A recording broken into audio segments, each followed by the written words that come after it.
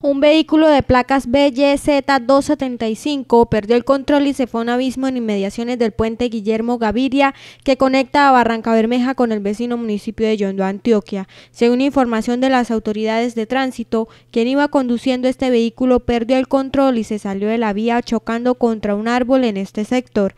El hecho no dejó personas fallecidas ni lesionadas.